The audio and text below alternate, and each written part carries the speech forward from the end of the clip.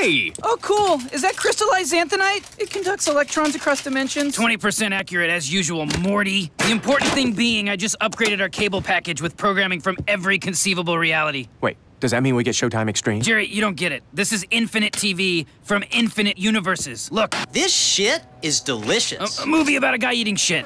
Uh, it's a pleasure to have you. The pleasure's all mine. Letterman from a timeline where Jerry's famous. Wait! What in the hell? I agree. Where's this going? No, the other thing, go back! All right, fine. Glenn, this is a court order. It says you can't eat shit anymore. All right, Jerry, when you're right, you're right. Now I'm hooked.